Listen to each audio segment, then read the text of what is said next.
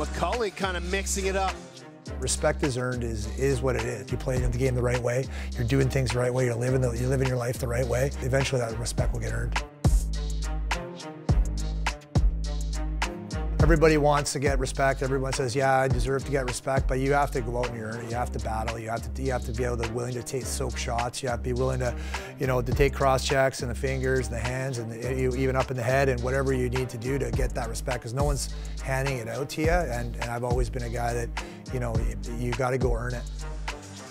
Does he want to go to the net? All hounded there by Martel. Heavy cross check by Mydske to cause a turnover.